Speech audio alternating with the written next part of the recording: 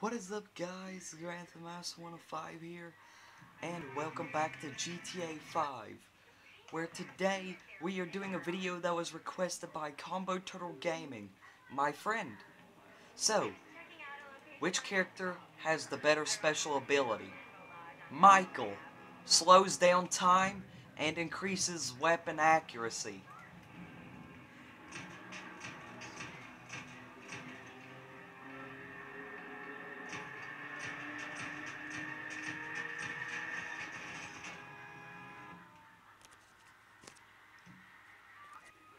Trevor becomes nearly invincible and doubles the damage of any weapon he uses.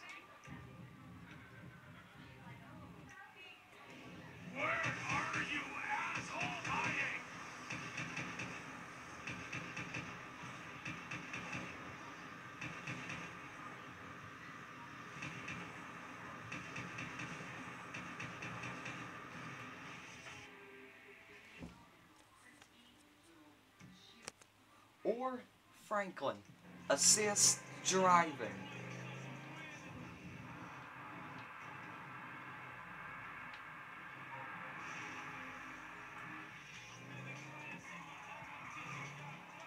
Which one do you think is better?